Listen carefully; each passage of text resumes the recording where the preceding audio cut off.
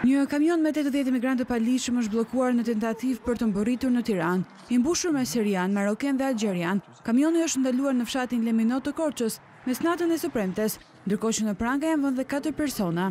I pari që është arrestuar nga policia ka qenë shoferi që po drejtonte kamionin me emigrantë dhe pas pak minutash është arritur të arrestohen dhe tre persona të tjerë që dyshohet se kishin rolin e shoqëruesit. Për momentin, policia e Korçës nuk ka dhënë asnjë prej emrave të të arrestuarve. Mes emigrantëve të paligjshëm kishte dhe një numër të madh grash dhe fëmijësh.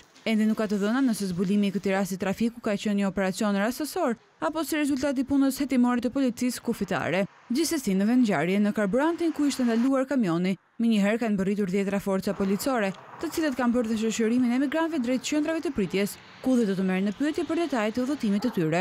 Ky është numri më i madh i emigrantëve që janë ndaluar ndonjëherë gjatë një aksioni në zonën kufitare të Korçës.